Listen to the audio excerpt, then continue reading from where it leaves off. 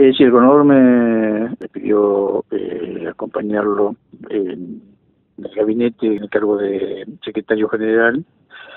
Eh, en realidad yo con bastante dificultad desde el comienzo, este, por eso extendí un poco la definición.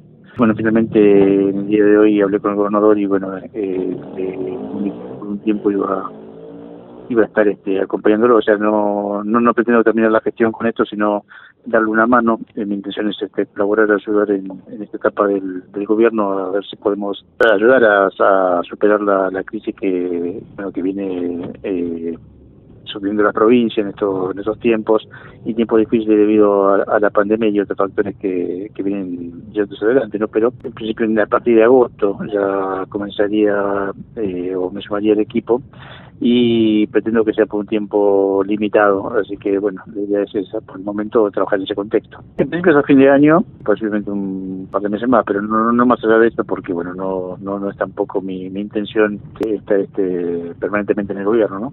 Hay una situación difícil por varios factores, ¿no? Pero bueno, eh, en principio la, deuda pública que tiene la provincia que pende como una espada de Damocles y que no permite que haya, bueno, por lo menos este nativo de, de poder superar esta esta crisis que permite, entre otras cosas, por ejemplo, no pagar los sueldos en tiempo y forma, ¿no?